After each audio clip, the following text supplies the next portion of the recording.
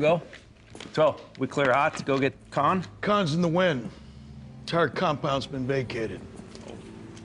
Look, fellas, Commander Shaw's gonna recommend the Bravo team be split up when we get back from Virginia Beach. Sorry. I wanted you to hear from me first.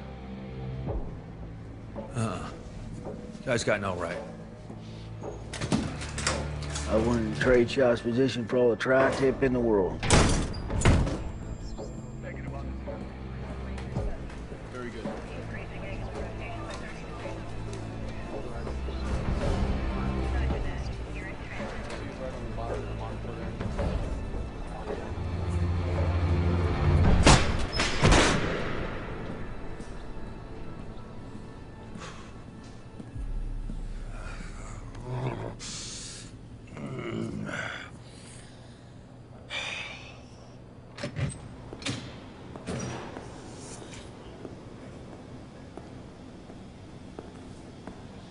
Shaw's out of his mind. I'll do whatever I can. Exhaust my Rolodex. People who owe me favors. You know what, maybe you should spend some more time watching your own six.